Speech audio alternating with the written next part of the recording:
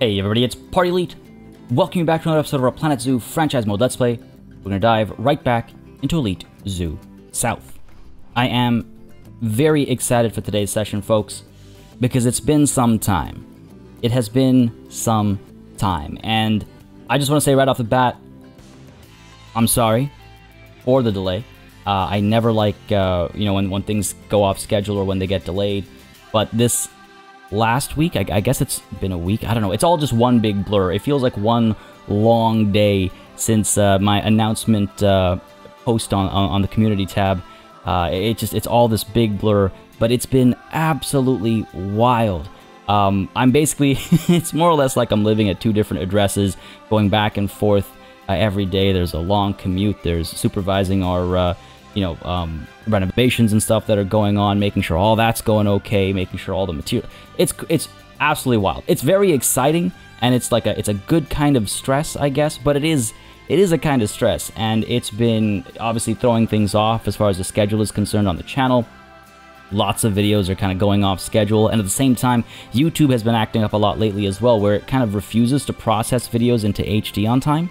Uh, so if this episode goes out late, that'll be why. And I apologize as well on top of my existing apology, like an extra. This is a this is a layer cake of apologies.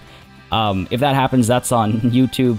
Uh, it's been happening a lot this past week, and a lot of my videos have been like ready to go, but then delayed by several hours at times. Hopefully, I'm able to get this out uh, on time though, um, because yeah, I, I, would love to actually get this one out, you know, at, at the regularly scheduled time. Uh, with that said, so as I was saying, thing number one that I wanted to say was uh, I'm sorry for the uh, delay in this episode. And thing number two is uh, uh sort of, uh, I, I, guess, thank you for your patience, um, for your understanding. And uh, honestly, like, thank you. I, I don't think words can really signify just how much I appreciate um, that just the the just yeah just just the I, I, I guess the flexibility the the the, uh, the understanding that I, I don't even I can't even put it into words honestly it, it's very difficult to express uh, because it's made such a massive difference as you can imagine again like I was saying you know it's it's a stressful time. It's a, it's a good kind of stress. You know, it's exciting. I'm really pumped. I can't wait to share uh, like the new like studio space we're getting and all that kind of stuff. Um, and but, you know, and that's all great, but it is of course, like I was saying, it's living in two different addresses, basically trying to get you know the internet hooked up so there's no downtime when we move, all kinds of weird stuff and crazy shenanigans.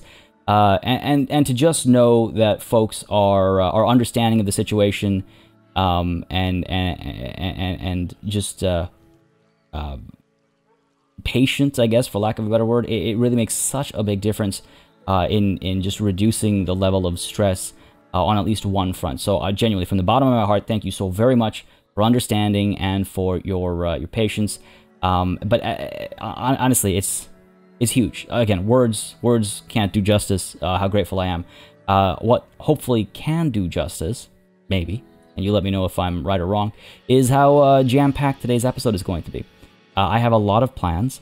Um, I've been very excited to execute on some of these, and actually, in some ways, this uh, this delay has been a bit of a blessing. I'm going to say, uh, from a uh, creative standpoint, for our beautiful, beautiful zoo. Because if it was not for this delay, I would not have come across something that I am really like excited to uh, to include in our upcoming executions. So, in, in, in kind of in a way that kind of works out, kind of works out. Uh, but yes, it's going to be a jam-packed session today, folks. We're going to get a new animal in. We're going to get a time-lapse in. where We're going to do some uh, beautification. I think it's going to be absolutely, it's either going to be absolutely amazing or it's not going to work at all. It really depends on the pieces that I'm working with, and we'll see if we can make it happen. But I'm really excited because if we can pull it off, it'll be unlike anything I've done before, and that always gets me very pumped. Uh, but uh, before we get into that, before we get the new animal, before we get the uh, time lapse, I also want to, of course, get in our new staff and our uh, sponsor board. Now, our sponsor board we'll do as a part of our time lapse. There's only the one, uh, and the staff as well. There's only the one name request. So I'll be getting that done right off the bat over here. And I just want to reiterate, folks, because I feel like maybe I've miscommunicated at some point, and I want to be crystal clear. If you already have a staff member named after you know yourself, or, or you've given a name to, I shouldn't say after yourself because it can you know it's a name. It, it can be any any kind of name. Uh, but if you if you've already got a name in there among the staff, uh, or if you've already sponsored an animal, that doesn't mean you can't do it again, right? Uh, I try to keep it once a month so that the uh, so to, to spread the love, as I like to say. But uh, but if you have already sponsored an animal and you'd like to sponsor another, at, at either Zoo South or North, let me know. If you've uh, already got a staff name and you would like to name another, let me know. Um, I I, I, just want to make sure that I was I was clear there because uh, it's a it's a it's a perk as it's a it's a way of saying thank you, and so I want to make sure people were taking advantage of that as often and as freely as they would like. So just wanted to uh, get that out there. Now, as I put these names and sponsor boards in today, I just want to mention as well, if I somehow have missed your request, especially over this last week, I again, I'm sorry, but please don't hesitate to like just let me like remind me, ba- like badger me. If I wouldn't use that word because it's it's it's it's not badgering, it's reminding, but I know some people would think of it that way. So I want to give you reassurances. You will not be annoying me or anything like that if you if you go, "Hey, you missed my request for this and that thing." Let me know in the comments down below or shoot me a private message on Patreon uh, and I will get it uh, fixed right away. Uh, thank you again on that front as well for your patience. Now, our staff member over here is Trigart. There we go. Make sure I spell that correctly. Trigart joining in as our latest security guard. Thank you very much, buddy, again for the ongoing support, and let me know if I've butchered the pronunciation there, of course, as always, because uh, I'm I, I, always am open to being corrected. Uh, but that is our latest uh, named staff member, a new security guard, and we again, like I said earlier, will also have a new sponsor board coming through as well. But before we uh, get to that, it'll be during the time lapse. I want to talk a little bit about the new animal we're going to be adding today. So we're going to be continuing development up top over here. Um, what I'm going to actually do is add an animal to the existing space and see how much of a difference it makes in terms of land area requirement. I might part of the time lapse might include expanding this uh, this space as well, uh, but a lot of the time lapse, well, you'll, you'll see when we get to it. Um, the reason why I want to get a new animal in here is, um, well, manifold. I was gonna say twofold, but I was like, there's a, there's a couple of things, and I, I don't want to give myself a count limit before I even begin. One, I want to see uh, how these animals interact with each other. I just want to see them share the space. Uh, two, I want to see visually the impact of having more animals in here because something I keep bringing up is like, oh, you know, some parts feel kind of barren, but maybe as more animals come in, it'll feel a bit better. Um, and uh, so that, well, that was what was that? That was two. Um, and then uh, three as well. I want to see what kind of an impact it has as far as land area requirement. At one point, of course, we're going to reach that tipping point where we just don't have enough land area and the animals are going to start getting upset and we have to expand. Now, again, we are definitely going to have to expand, but I just want to be cognizant of what that tipping point is. I've got a tendency to overdo it from the beginning anyway. I tend to go like, oh, oh, you need a hundred, uh, you need a hundred meter square. Okay, how about we give you 10 kilometers square? And uh, oh, the guests are now complaining about views. What? Uh, that that tends to be my my approach, right? So I'm gonna just try and find that tipping point and then we'll expand this enclosure. That might happen next time. It, you know, it might happen today if it's uh, if it's necessary, but uh, it, will probably happen I think next time or the time after that as we keep adding more and more animals to the space. Uh, and then eventually, I mean, I, have got some great suggestions as well. Now, correct me if I've if I've misunderstood this. I'm pretty sure I've understood this right. But uh, a great suggestion I got was with regards to actually making two enclosures over here, um, but sort of blocking, ha- having this kind of be like a bit of a, a, bridge, having two enclosures and kind of separating them, but making them look like they're one, um, and using that as a way to manage the terrain requirements of all the animals. That's an interesting, uh, if again, if I've understood that right, it's a very interesting idea, and it's an interesting way to work around uh, some of the issues we might be butting up against as we try to balance, you know, the uh, terrain needs of uh, of our ostrich over here alongside the terrain needs of, say, a uh, white rhino- rhinoceros, right?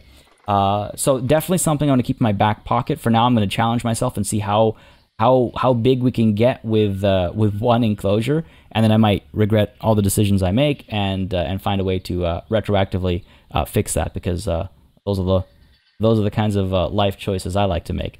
Um, but let's see, what have we got going on over here? So that's that's that. We need to figure out which animal to add. And again, there's so much going on. Oh, actually, before I even get to that, just want to point out there is a brand new community challenge Critically endangered, there are species that need a lot of attention in preservation and care. Learn more today about some critically endangered species by releasing them in this community challenge.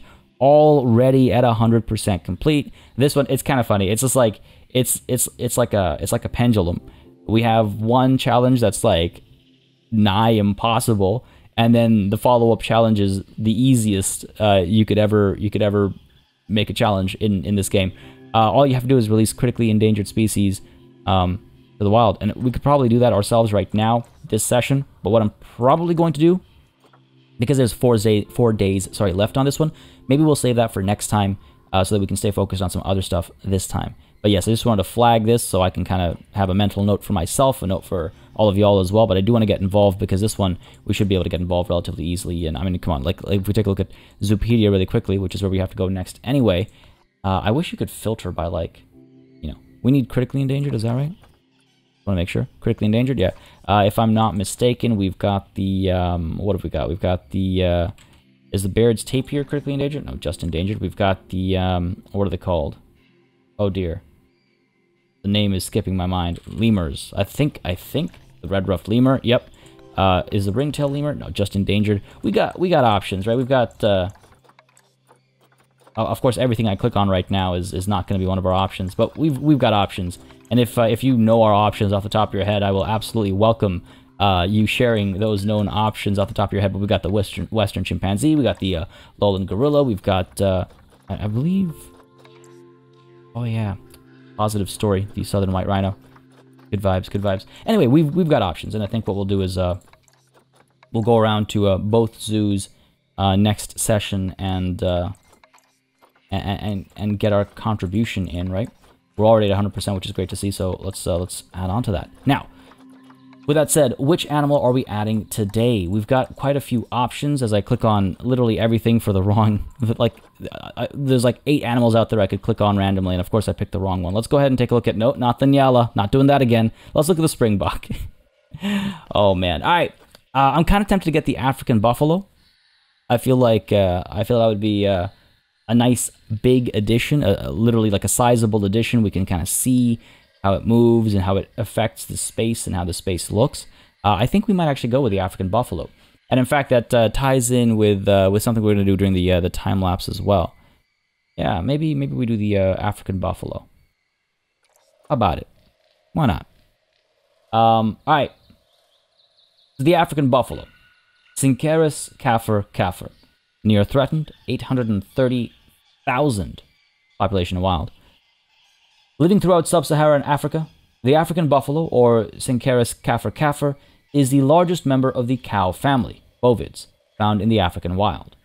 They are typically between 5.6 feet and 11.2 feet in length, measure 3.3 feet to 5.61 feet tall, and are identifiable by their distinctive horns, which are broad, curved, and unite in a boss in the center of their forehead. The dominant male in a herd will often have the largest horns. Although the species is not endangered, African buffalo are still threatened by human activity. Illegal trophy hunting is a regular occurrence, and their grazing lands are being transformed, either turned into farmland or built on by humans. African buffalo can also contract diseases that are spread by domestic livestock and are as well vulnerable to drought conditions. They are protected in many areas that are assigned as national parks and nature reserves, while sustainable hunting occurs in legally managed zones. All right, good stuff. I mean, it's a, uh, it's it's it's a, it's quite a shame the like all the trophy hunting and, and poaching and stuff, especially because like a lot of these animals, what ends up happening is I, I don't I can't speak specifically for the African buffalo. Um, I'm sure there are smarter people in the comments who will, you know, uh, either affirm what I'm saying or correct what I'm saying here. Feel free to do that. I'm always looking for the, the, the right info. So not for the African buffalo specifically, but for a lot of animals, uh, you have hunting seasons uh, because you have to help cull populations, right? It's something that uh, um, it's it's very organized. It is done for uh, a very functional reason, and it tries to it tries, at least from my understanding, it's best to fit into um, like the order of things, as it were uh, and, and, make sure that uh, you know overpopulation isn't a problem. Overpopulation of certain animals can cause a cascading effect, and you know take down entire ecosystems. We've seen this happen, uh, not just with invasive species, but also with species that belong in a space but have been allowed to overpopulate. You know, if you get rid of a predator. Uh, and a certain animal is allowed to overpopulate, you get certain issues, and that's when you have to sort of counteract that overpopulation, uh, and, and that's when you know hunting seasons and stuff come around. Uh, at least that's how that's that's the uh, that's ideally how it's kind of supposed to work and and all that kind of stuff. And then you get things like trophy hunting and all that. And it's like, man, especially when there is like legal hunting of an animal, which I presume is under those same kind of circumstances and the same ideologies and, and, and, and thought processes that it's like, okay, well, you know, we have to cull a population or it's a, or, or what have you. what? Uh, anyway, I, I could I could literally this I this entire session could be dedicated to me rambling and ranting about about this, but uh, it is an unfortunate thing to uh, to see that the trophy hunting is uh, is such a major problem over here. Um, I mean the development of, of you know human cities and, and, and, and, and towns and stuff like that and farmlands. That's obviously a tougher thing to you know reconcile, obviously, but because um, there's I mean there's obviously sustainable ways of, of, growing that we're always trying to do nowadays, but it's a, it's a tough thing sometimes. Um, and then and then and then there's things like trophy hunting, which is just like, hey, how about how about don't?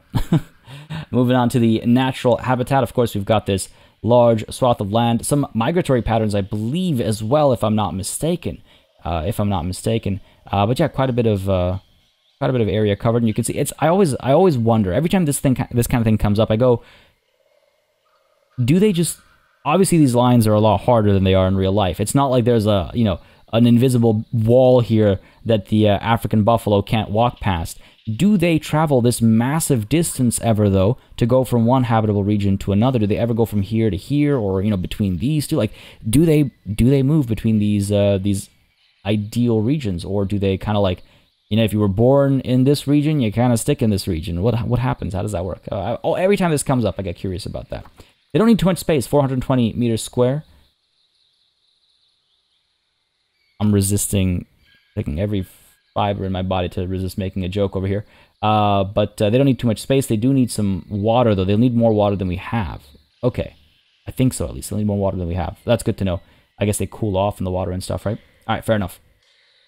And of course, grassland and tropical but we're going to have to stick largely with grassland uh, biome because a lot of these guys are only okay with the grassland biome. That's the thing with the overlapping, and that's why there was that suggestion as well of making two separate enclosures that look like they're one, because then we can have a bit more freedom as far as the um, flora is concerned. But uh, we'll see. It's an interesting challenge, uh, but that is a, a great uh, suggestion, if I've understood it right, to uh, to open things up a bit more. And I'll, I'll, I'll try and figure out which way we're going to end up going.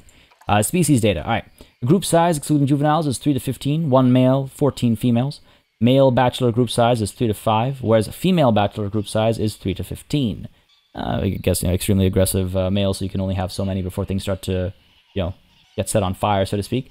The dominance, there's a dominant male bull, female herds with age-based dominance. Mating system is promiscuous, relation with humans is neutral, and guests cannot enter the habitat. Uh, yeah, I, uh, I imagine, I imagine not. Um, this makes me think of a story for another time, perhaps, but uh, I once got charged by a bull. I promise you, I was doing nothing. Um, but uh, maybe, uh, it, well, I wasn't doing anything, but people near me were uh, were were being were being rude, is how I'll put it. And uh, and yeah, I got charged by a bull. Fun story. I'll uh, I'll share it sometime. Maybe yeah, maybe maybe I'll share it sometime because it's uh yeah, it's a it's a fun story. Um, but yeah, so uh, no guests guests cannot enter a habitat. No. Uh, five foot tall at the shoulders for males and females both. On average, life expectancy is 22 years on average for males and females. And weight, huge discrepancy here: 1,500 pounds for males and 1,275 for females. Again, averages, right? Sexual maturity at five years, sterility at 20. Number of offspring per mating event is one. 11 month gestation, 24 month interbirth, and very easy reproduction in captivity. Looking forward to seeing some baby buffalo. Social needs African buffalo live in herds composed of many groups of related females, with groups of bachelor males and solitary dominant males existing on the periphery. A herd can be made up of multiple of these groups. Oh, okay, interesting. So, hold on, wait, wait, wait, wait, wait. So, buffalo live in herds composed of many groups. Okay, there it is. I, I that that first sentence, um, that first sentence threw me off. I, I didn't I didn't catch the herds composed of many groups that composed of many groups part. Uh, threw me off. Um, okay, so each group has related females, bachelor groups of bachelor males, and uh, okay, hold on, hold on. I'm trying to figure, I'm trying to like build a, a, a visual aid in my head over here. So you got many groups of related females. All right. Now, are the I assume this means the females in one group are related to each other as opposed to multiple groups of related females where all of the females are related to all of the other females in the in all of the groups, right? Uh, and there's groups of bachelor males as well as solo dominant males kind of roaming around the perimeter. sort of, obviously, not not very literally. Okay, fair enough. And then a herd can be made up of multiple of these groups. Right. Okay, fair enough. Gotcha. So a herd has all three of these things potentially happening, and potentially multiples of all three of these things. Okay. That maybe threw me off more than it should have. Reproduction. African buffalo mate year round. A male will track females for signs of estrus, and upon finding a receptive partner, he will defend her from rival males until he is able to mate with her.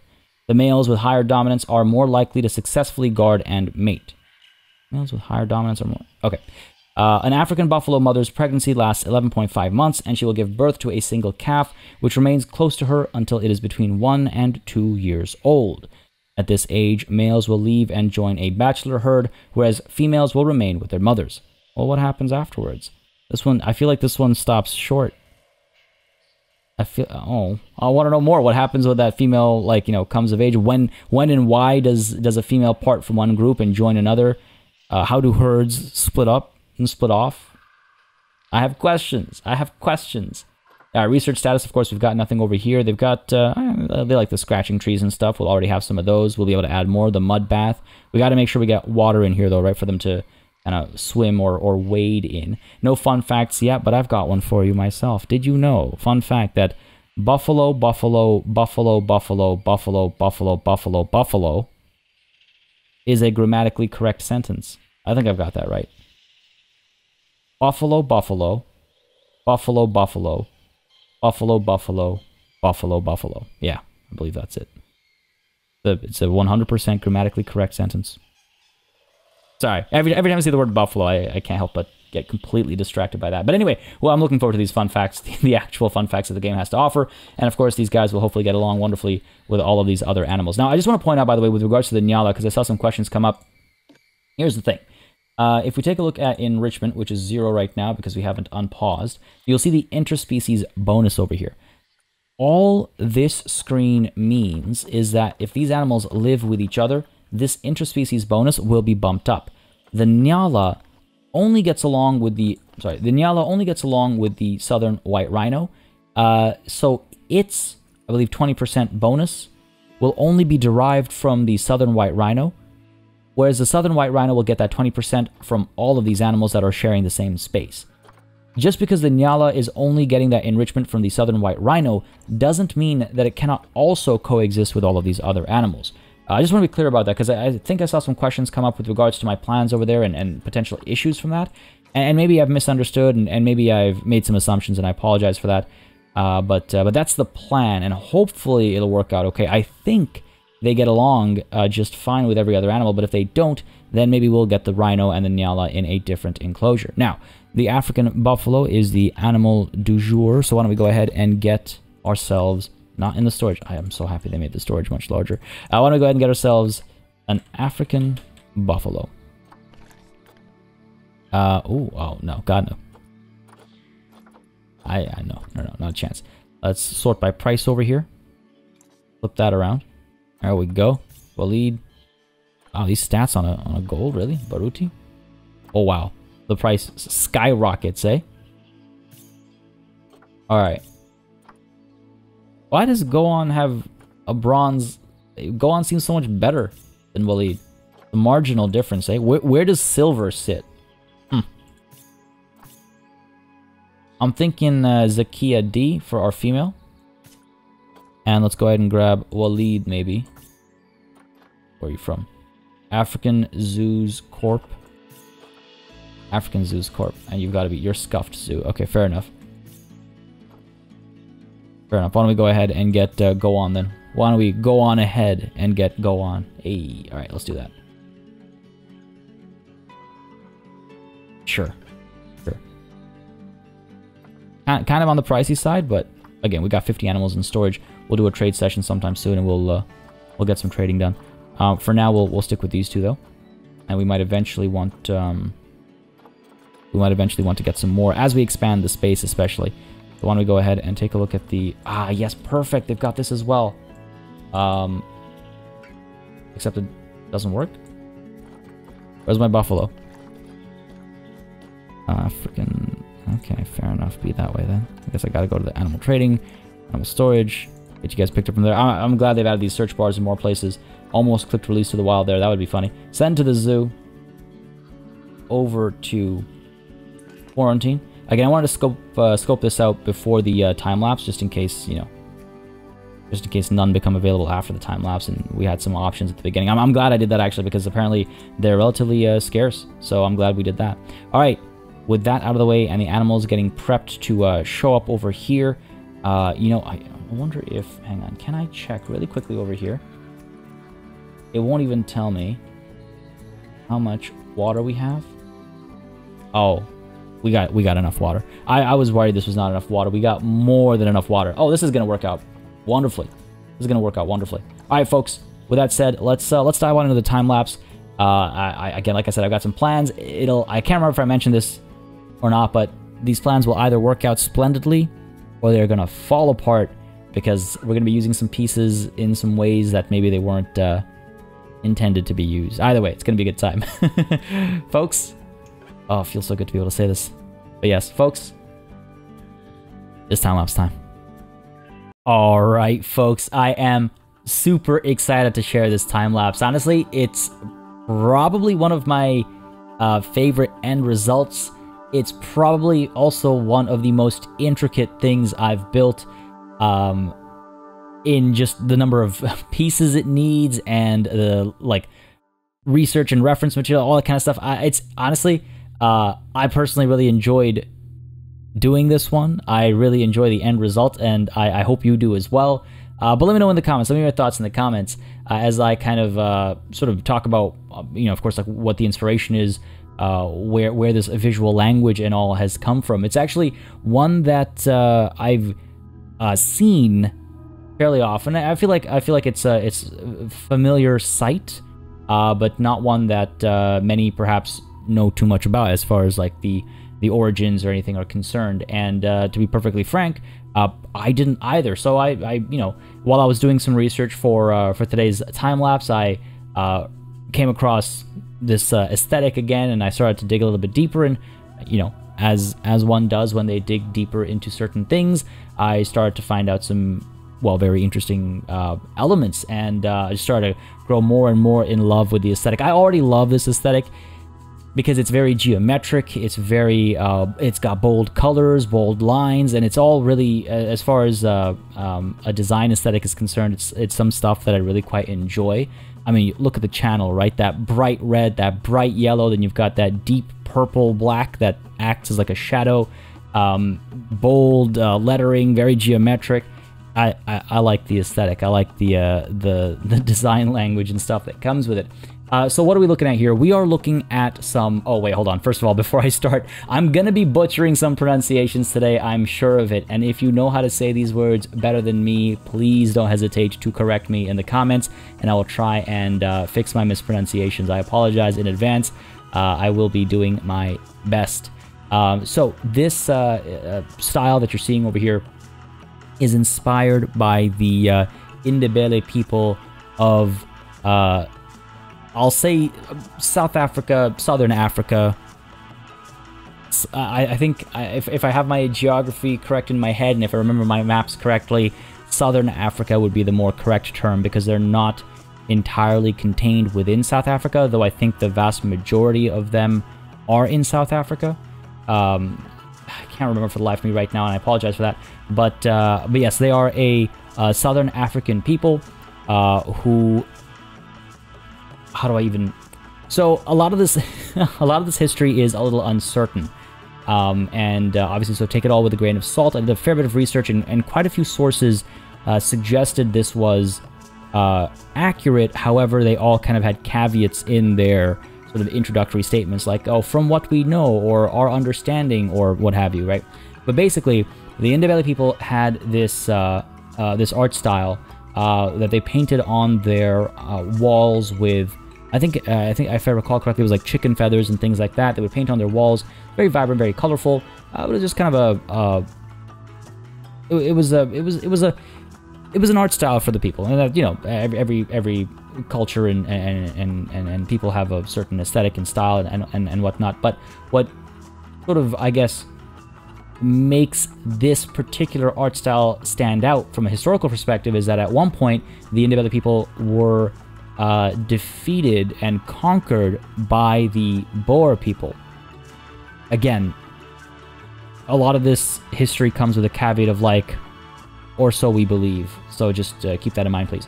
But they were uh, so they were conquered by the uh, Boer people, uh, and they were a warrior people themselves as well. So I imagine this was probably like a, a tumultuous event. I mean, being conquered is a tumultuous event whether you're a warrior people or not. Let's be honest. Uh, but the Boer people would actually allow the Ndebele people to continue their uh, art. They didn't um, crush this uh, this cultural uh, expression. They didn't prevent it or anything like that. They didn't halt it, and so supposedly uh, it started being used as a form, not necessarily of defiance per se, but as a form of um, uh, just a shared uh, cultural language. It was a it was a symbol of perhaps uh, solidarity, maybe is the right word or a better word for it. Uh, but it was just a it was a, a, show sort of of strength, but more sort of in like hushed whispers of like uh, of, of, unity, um, as opposed to you know picking up arms and things like that, as it were. Uh, but yeah, so it was allowed to continue. The uh, Boer people again, I'm I'm mispronouncing that, aren't I? Uh, I'm, I, am really, I truly, I'm quite sorry if I if I am. Uh, please, please correct me. Uh, but they um, they saw it as like, okay, whatever. It's a cultural thing they do. Whatever. Let, let it be. Let it be. Let them let them do their thing. Uh, and I'm going to interrupt that for a quick note over here as I uh, establish our sponsor board. I was uh, meaning to do that at the beginning of this time lapse, but I got so carried away. so Trigart over here is also sponsoring our Springbok, and I'll touch more on this sign and what I plan to do with these signs after the time lapse. But again, thank you Trigart for the continued support uh, of the channel of uh, the animals as well, and of Elite Zoo South and North. Um, so the Boer people were like, "All right, you know what? Go on. It's it's no big deal. It's a it's just, they're just paintings."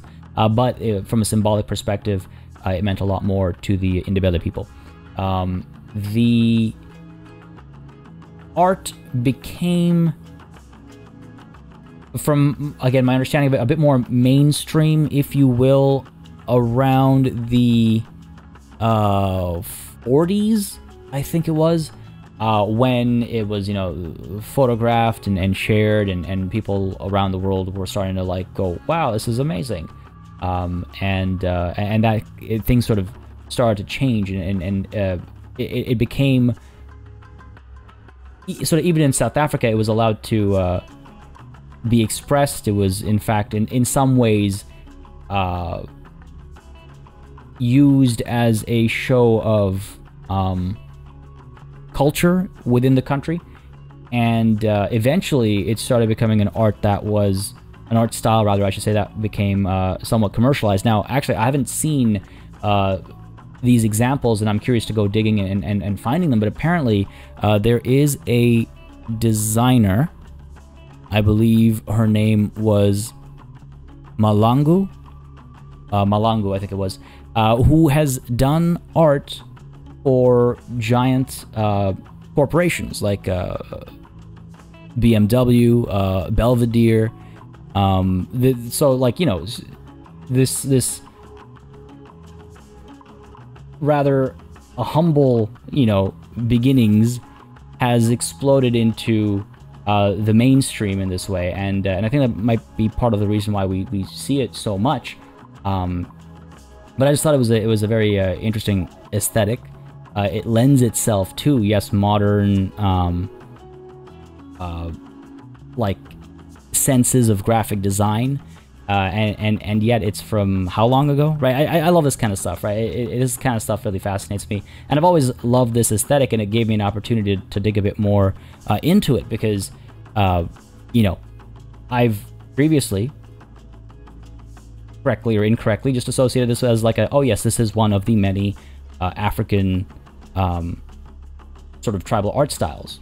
But now there's a there's a bit of context to that. There's a bit more knowledge to that, and uh, there's a bit more uh, just I don't know information uh, surrounding that uh, statement, which uh, I, I've personally been very glad to be able to expose myself to.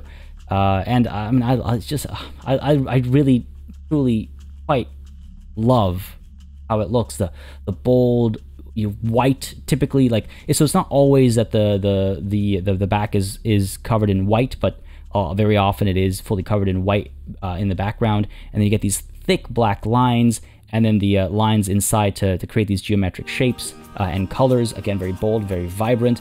Uh, apparently a lot of the more modern um, works like when buildings are painted in, in this style uh, apparently a lot of them are inspired by the urban uh, shapes. You know, um, uh, elect- again, this is all like analysis, right? So we like is it not not every single one of not every single one of these pieces is like this, but many of them are from like artist statements and things like that. So take all of this with a grain of salt. It's very important to keep that in mind whenever discussing art or even design, uh, but art especially.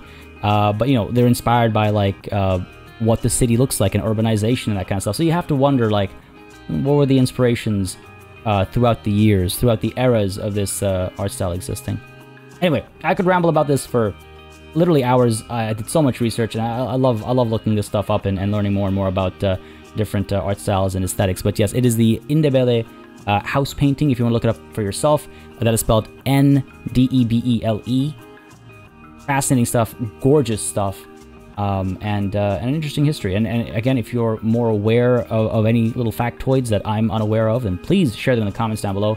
I love learning more stuff, especially from uh, you know from from from the comments and stuff. It, uh, it, it's, it's so enlightening so often. But folks, unfortunately, that is pretty much it for this time lapse. There's, as you can see, plenty of work to do here still. Uh, so I'll have I'll have a chance to follow up on this conversation and keep rambling about this absolutely gorgeous art style. But for now, back to regular speed.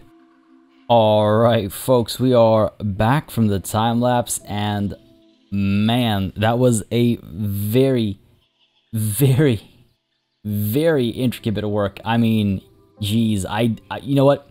It's kind of funny. I may have mentioned this in the time lapse. I may not have had had enough time to mention it. Sorry, but the first thing that happened during that time lapse was me going to pick out the pieces I wanted to use for this project, and realizing that I hadn't unlocked them yet. Uh, so that was a nice surprise, but uh, resilience, persistence, whichever you'd want to call it, pig-headedness, obstinance, stubbornness, whatever you want to, whatever term you want to use, positive or negative, uh, it all, uh, you know, it, it, it, paid off, I guess, and uh, I managed to pull off uh, pretty much sort of what I was going for. I mean, my in my sort of you know mind's eye, as it were, I had much more intricate patterning going on. Uh, but I think I knew that realistically it wouldn't be possible because to get more intricate patterning, I would need smaller pieces, and smaller pieces are just not available, smaller than this. I thought there were some in the uh, Africa Pack DLC, um, like uh, building pieces, but uh, you know what? I wasn't able to check because I haven't actually researched those yet, and so we don't have access to them yet. That was a it was a hilarious start to the uh, to the time lapse for me. I was just like, oh oh man, I my entire like time lapse was hinging on me being able to pull off this uh, this this art style, this aesthetic, and uh, oops. so that was that was funny. Uh, let's actually get uh, Brittany in here. We've got ourselves a named uh, staff member as an engineer. So let's go ahead and get uh, a mechanic is the actual term. Sorry. Uh, let's get Brittany in here researching the North Africa theme, so I don't find myself in that position and circumstance ever again. but yeah, pretty pleased with this. I mean, again, during the time lapse, things can zip by pretty quickly. Obviously, there's still plenty of work to do over here, but all the the groundwork has been laid uh, and and now it's a matter of you know choosing colors, uh, figuring out the patterning, maybe coming up with something a little different for the front face. I might come up with like a, a unified piece uh, for the front face altogether, um, and I think that might be uh, that might be uh, what we'll then kind of replicate over for this setup over here, and we'll have to find a way to get our uh, washroom, you know, a, a part of the entire thing. Because of course these are a set of three, and you know these aren't perfectly lined up, so gonna be a bit of fiddling, but man, really pleased with how this uh, how this looks. And again, of course, we use that to inspire our sponsor boards in the area as well. We've got Trigard over here sponsoring the Springbok, and what I'm thinking is uh, for each animal, we'll have a different like color set, maybe a different pattern, or maybe just a different color set. I'm not sure just quite yet. So if we get different folks looking to sponsor different animals, we'll be able to tell them apart using the, uh, the, the sort of the color uh, uh, scheme, I guess, of the sponsor board. Uh, but yeah, I've always loved this uh, this aesthetic, and and uh, I'm glad to have a reason to explore it a bit further and talk about it a bit more, and uh, actually try and execute it. Uh, man, I'm honestly just I can't keep. Uh, I, I, need to stop like zooming in on this, but I'm really quite pleased with how this looks, and I hope you all like it as well. Definitely, I would say, mm, well, it's up there as far as my sort of most intricate works. Um, but yeah, yeah, it's gonna look great when it's all kind of done, and we could probably do the uh, train station in that style as well potentially. Uh, but either way, folks, that is all that. Let's go ahead and take a look at our animals. Well, rather, there's nothing to look at. I gotta unpause first. Gotta get the uh, uh, what's it called? Quarantine stuff done. And while we're waiting for that to get done, I actually got an excellent suggestion in the uh, comments that I want to implement. Sorry for burning retinas over there as we went underground. Where are we? There we are. Over here. All the way over here. And down over here. I should get a Vista setup. Now, I don't know if people will come here. I'm hoping they will, but the least we can do is set up the, the spot so they can uh, they can be drawn here, right? Go and put this down. Sure. I want it to be right in the middle, but I don't know how this works for actually navigating the path, you know? Like, I don't want to block the donation bin or anything. Let's let's try this. Let's try this. Go do that. Set item focus. Um, this enclosure. Not not Gorilla Grove. This enclosure, Waddle Walk, please. Like Gorilla Grove. That's that doesn't sound like a name I would give the uh, I would give the penguins uh, enclosure. Anyway, let's let's see if that works out because I think that would be quite nice if it does. And actually, one thing I forgot to do in that town, I got so consumed by uh, uh, by oh look at look at that. That's oh man, you could like see it from a mile out. Uh, okay, well not not that far out. There we go, roughly there. And it, it really does stand out, doesn't it? Now, sun setting, we're gonna get that golden hour uh, lighting, color, like coloration and stuff. But the, it really does, really does uh, stand out, doesn't it? Oh, don't want to miss this. Oh, we got the tail end of it. God, they're so cute. So I only recently found out about this very adorable animal that I think some of y'all might want to uh, look up. The synchronized uh, animations are always funny. Uh, it's called a pika. Um, apparently we have them in Canada and they're very adorable. So if you've uh, never seen a pika, uh, check out some YouTube videos about the pika. It's uh, it's it's it's very adorable. Just seeing the the size of these guys and just the general overall kind of like shape of them uh, made me made me think about that. Uh, the, the, the, the pika. Anyway, um, little distraction there. December of 161, we'll have a new koala baby. That's good. I'm glad we're seeing koala babies again. Uh, but, sorry, before I get ahead of myself, I'm thinking I'll maybe use this uh, aesthetic not just for the train station. Again, maybe for the train station, right? But not just for that, uh, but also maybe all the way down over here for some of these guys. Uh, trying to bring that. Uh, it's a, it's a it's a it's a tough thing to try and um, figure out for me here, because off the top of my head, uh, I don't know the delineations of you know um, of, of, of aesthetics. I mean, so, sometimes you'll get overlaps, right? Like uh, going going to go on a bit of a tangent over here. But as an example, if you take a look at, say, Indian architecture, you will get Indian architecture that is very similar to what we would typically call like Muslim architecture or um, you know Persian architecture because of obviously uh, invasions, the history there, and cultural osmosis. Um, but there is still a distinction between what is uh, like what is considered Indian versus Persian. I- I- Indian Persian blend is you know uh, considered Indian versus Persian is considered Persian, and then you've got like there's it, it gets really weird when you talk about um, how where where are those lines right? What separates uh, cultural, architectural, and art styles and stuff like that. Uh, and while there are some things I am familiar with, there are some things I am not familiar with. So, you know, what I'm getting at is where are the overlaps in this area? Uh, from my research, we would be fine using thatched roofing and stuff like that for these uh, sort of Ndebele inspired houses.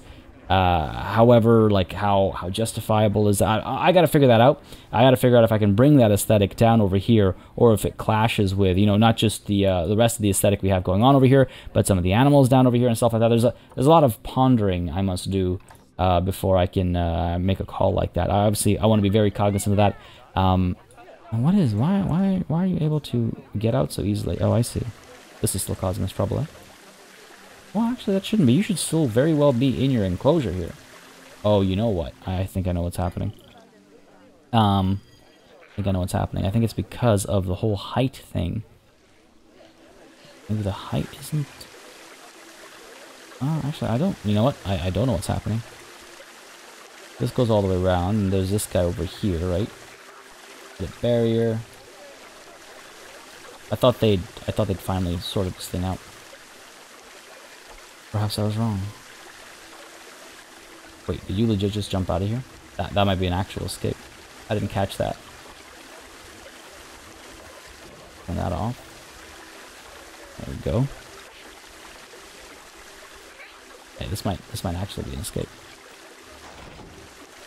You guys are escaping a lot. I might need to just block this off. As much fun as this has been, I might need to just block this off. It's really uh, quite unfortunate, but I think we raise these rocks up a little bit and uh, hopefully keep the animals uh, blocked off here. I liked what we had, but it's uh, it's gotten to that point where it's just like I feel like I spend so much time adjusting this where where I really shouldn't have to. We'll see if that does the trick, if they're able to actually climb this, and we'll uh, we'll make adjustments later on if necessary. Uh, but yeah, as I was as I was saying, I, I want to be very careful about just generalizing uh, uh, cultural delineations and aesthetics and things like that, especially when it comes to uh, you know things that are often and I've, I've, said this countless times that things there are some things that are often just seen as uh, uh, sort of a monolithic uh, cultures or, or monolithic um, spaces. Uh, and Africa is one of those. Uh, I, I, say this often because it's it's one of those things that always like it comes up fairly often. It's just like well it's you can't just a massive landmass with countless um, cultures and subcultures and all that kind of stuff. So like I want to be careful about implying even that it's like, oh yeah, you know, yeah, it's all whatever, it's all the same. It's African. It's like, well, what does that mean? I'm very particular about that, and uh, it happens a lot in very in, in it happens a lot across the world. Uh, that kind of generalization, but it happens a lot more in certain spaces than other. Um, you know, another. I mean, harkening back to what I was just saying earlier, India is another good example of uh, of that, where it's just like, oh yeah, it's it's Indian. Well, what, what does that mean? Is it uh, North Indian? Is it South Indian? Is it East Indian? Is it West Indian? Is it Bengali Indian? Is it Gujarati Indian? Is it Rajasthani Indian? Is it you know Tamil? Is it uh, uh, uh, like Punjabi? Is it like what is it? What kind of what kind of and and India from a landmass perspective, you know, it's not a continent, right? Uh, it's a subcontinent. It plus other uh, other other nations, obviously. So so like you know, it, it happens all the time. Um, and in some cases it happens a lot more than than others. Uh, it's a lot more common, and a lot it, in some ways is a lot more. It's seen as a lot more like acceptable. It's seen like, oh yeah, yeah I know what you mean. You know, uh, when people say like, oh yeah, it's African, it's like, oh yeah, yeah I know exactly what you mean. It's like, well, what, what do you, where, where in? I'm and maybe I'm maybe I'm too particular about some of these things, but it's it's one of those things that's always been ever since I was relatively young. I would say it's always been one of those like, that's a whole continent, man, kind of a people and I, I think that's born from maybe my uh, uh, love for ancient Egypt. I, I was uh, ancient Egypt is one of those things that I like. I always thought was super cool, uh, and, and, just uh, when I say ancient Egypt, I mean like you know upper lower, uh, like ancient ancient ancient Egypt. And then of course having lived in Morocco for three years, that you grow sort of a an interest, and my my interest in history I may be very interested in like Moorish expansions and things like that versus sub-Saharan Africa, and then of course like so you know I for me personally, that distinction is uh, is something I keep in mind fairly often. Um, and so whenever it's it's not kept in mind, I kind of go like, well, hey, isn't that unfair? Again, maybe I'm being too particular. Now, what's the deal over here? You're not in ideal climates. Why? How is it so? Oh, I see. Because of this overlap over here, we've got what's cooling it down over here. Where is our Guess you're the one responsible for all this. Okay, why don't we go ahead and reduce how much we're cooling by? Because I think the penguins are okay in like in in non-zero uh, temperatures. I think, right? We should be fine over there. Um, their shapes are just so perfect, honestly. Uh, how do I how do I where do I go? Over here.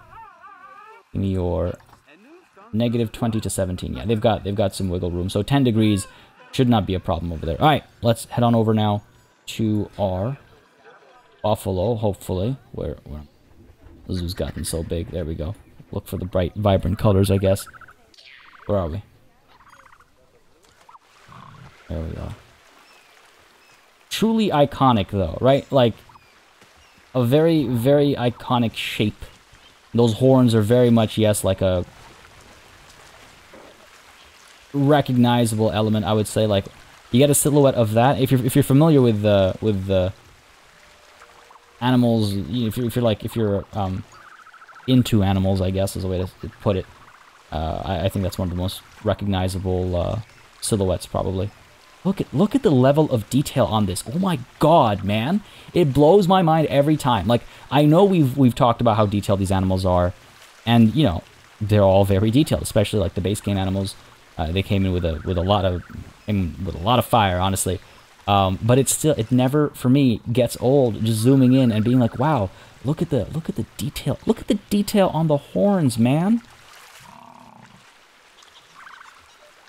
Yeah, absolutely wild absolutely wild. And of course, you've got like the skin, and and when they're wet and they're extra shiny, it, it all stands out so much more, uh, just because of uh, like the the, the the, the the sheen, right? I'm trying to find like that that thumbnail shot. You know, it's somewhere here, somewhere here. I feel like the backlit, the backlit buffalo. Oh, back into the water you go. Fair enough. How about you, buddy? So, such gorgeous animals. Let's take a look over here, though, very quickly. Super happy, super happy, super happy, super happy. This is great. I almost feel like I've uh, turned the difficulty off. I obviously haven't. This is... Uh, I felt like my camera got knocked there. Um, we obviously haven't because that's this is franchise mode, but everything's perfect. They've, they've slotted right in. Perfectly happy. More than enough space. More than enough water. This is great. This is great. Now, I do have to get another adult in here, so why don't we go ahead and take a look and see if there is another female available. Uh, animal market. Bolita. Nah, the longevity is kind of low. Amina. Uh, wow, that's all we've got? Luana. Oh, these are better stats. that might, this is hilarious. oh man, it's good to be back. It's good to be back. Uh, let's go with Zuena here. Not the best stats, but not that bad either. Evans Inc. Alright, we do not have somebody from there already go ahead and bring you into quarantine. Where are we? Where are we? Nope. Give me the ah fine. now actually, while I do this, I um I got a I got an interesting comment uh, that uh, resonated with me uh, in the comments of the last session. But I just wanted to kind of throw it out there. I'm not exactly sure yet uh, where I stand on this. Um, I'm I'm thinking about it, and it definitely jostled my my uh, my plans in a good way, mind you, in a good way. Because uh, I had some things in mind, and then I realized, oh, you know what? Yeah, I didn't, I didn't think this through. You have a point, uh, and I'm curious how others feel about this. But uh, last session, of course, we did a lot of uh, planning conversation, right?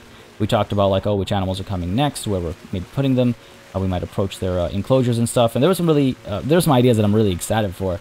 and I got some reactions and some some thoughts with regards to where we place some animals and all that kind of stuff. Oh, of course, I'm I'm here for this. Well, hey, welcome to the zoo. Uh, and welcome welcome back to Elite South, I suppose, again.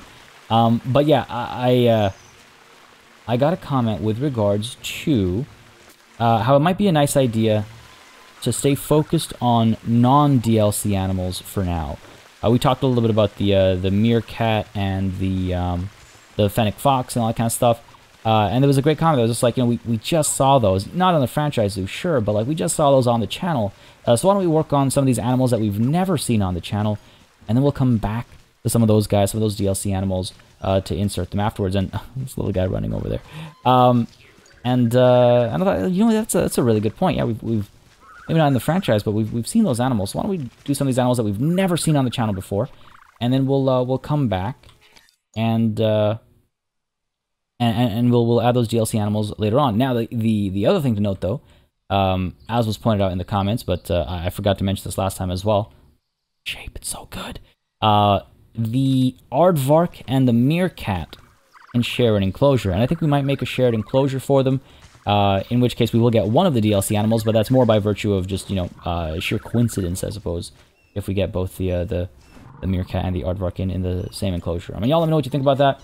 I'm obviously uh, I've obviously got thoughts and plans of my own, but I'm always open to feedback and other people's opinions, obviously.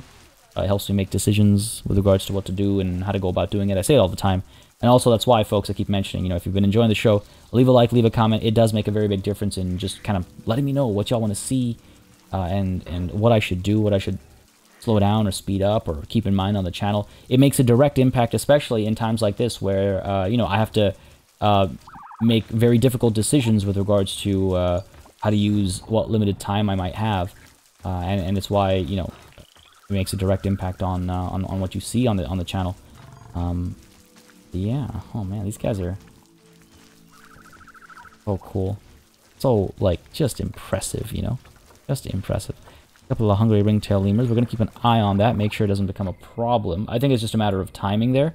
We might need some more keepers and stuff like that. We'll we'll keep an eye on that. Let's go ahead and move Zuena in here. We'll rename Zuena as well. Get rid of the uh, the numbers. Oh, right, and that reminds me, I need a male zebra as well. Again, I've got my notes, but sometimes I get into the flow of things, and I just, like, I forget to keep an eye on my notes, but I do believe, yes, we need a male zebra, right? Because Tumaini here is not an option. Not an option, I believe. Compare mates, Tumaini, inbreeding, yeah. Yep, inbreeding. Okay, there is an option over here, but limited options, I guess. Oh, there's there's there's actually it's not not that limited. But some of our best females are not options for Tumaini. He has Tumaini siblings in the enclosure wall. Oh, that one was kind of really bad, wasn't it? Oh, I should feel bad about that one, maybe. I'm gonna I'm gonna opt not to feel bad about it, but I maybe should. Zebra. Let's go ahead and get ourselves a new male zebra. Hondo. Edisola. Badru. Okay, let's let's see if we can't. No way. That's all of them. What's happening? What's been happening lately? To uh to the marketplace. Badru maybe. Akani for 2,000. Those stats are really not that good though. But I guess zebras with good stats are not that easy to find. You know what? I'm gonna hold off. We've waited this long. We'll wait one more uh, session. We'll try and get a mail in there. We have a bachelor. Uh, bachelor group right now. It's not the end of the world or anything. They're not upset about it, but uh, we'll we'll see what we can do about uh, about getting ourselves a, a new male zebra. Again, thanks for the reminder though. I did get a reminder in uh, in chat, and it does make or not in chat in the comments, and it does make a difference again. You're uh, clipping for the train there, buddy. Up we go. Just turn the camera and see his like little head zip by across the bottom. Oh, it brings me so much joy. I, I want to see them down over here, though. Oh, good. We are actually getting some of them down over here. That's nice to see. I was getting a little concerned. These guys are down over here. Oh, look at these guys. Oh, look at this. This is great. This is great. What a sight. What do you two have to? I'm so pleased to see them down here. I was a little worried that this wouldn't see any uh, any love, any action. Uh, but no, we have... Uh, we have these guys coming down here almost exclusively, it feels like. Yeah, it's like almost exclusively these guys are down over here. Oh, that's kind of funny. Oh, God. that was a trampling waiting to happen. Yikes. We'll see. Hopefully somebody else will start exploring these areas too. Are you guys... Just kind of clipping into each other with animations, or are you actually mating or interacting? Hard to tell. You know, just started my Beastmen playthrough in Total War Warhammer uh, 2 with the new DLC, and uh, they're very much inspired by a lot of this kind of uh, bovine um, imagery and aesthetic. You like animals, and you haven't checked out my Warhammer 2 Let's Play that's, that just kicked off, and uh, there's a there's a cro unexpected crossover, folks. This has been a very fun session, but unfortunately, I think this is where it must come to an end. Um, we did accomplish quite a bit today. We got ourselves a new animal. We got to look at its Zoopedia entry. Let's go ahead and get some research going as well. I believe we've completed something at least, right? Oh, a little bit of the North Africa theme. What's going on with our uh, vet research? I could have sworn... Oh, there we go. The Western Chimpanzee and the bonobo have been completed. I need to remember to look at their fun facts, uh, but we'll be doing that next time. Let's go ahead and get Lucy Meg working on the African buffalo over here. If I can just drag that over. There we go. So let's get that research going. We'll take a look at the bonobo and the western chimpanzees uh, fun facts next session. But we will also, I think, hopefully look to add a new animal and uh, continue the development of that region as well, right? Lots to get done still. Lots to get done still. Uh, and I'm looking forward to getting onto it all. Now that aesthetic that we've established up top is probably the aesthetic we'll also use for the uh, the um like uh what are they called exhibit animal? Yeah the exhibit animal um house as well. I don't want to call it like a reptile house because it's not like they're all reptiles or anything but it is something we're uh we're going to be um referencing quite a bit. Let me just check real quickly zoopedia. These guys the nile monitor. Are you? Nah data deficient not critically endangered i was going to release them to the wild oh maybe i should do that anyways release to the wild off you go just two of them? Okay. Is that enough to tackle our fighting? A couple more males over here. Let's send you to the trade center. Just in case I've got something wrong over here. Alright, cool. To have a few in our back pocket, a few from our own uh, zoo in our, in our back pocket, as it were. Uh, but yeah, folks, this is where we're going to call it a session. Hope you had a good time. If you did, you know what to do. Leave a like, leave a comment, let me know. If you have any thoughts or opinions to share about uh, anything we talked about today, including our plans and how they're evolving and the uh, the new spaces, again, leave a comment down below. It will get read. It will get addressed. Folks, as always, a massive thanks goes out to all of the channel members and patrons who've been supporting the channel on a monthly basis. Y'all keep us alive and running smoothly. And of course, a big old thanks goes out to each and every one of you for watching. Until next time, cheers.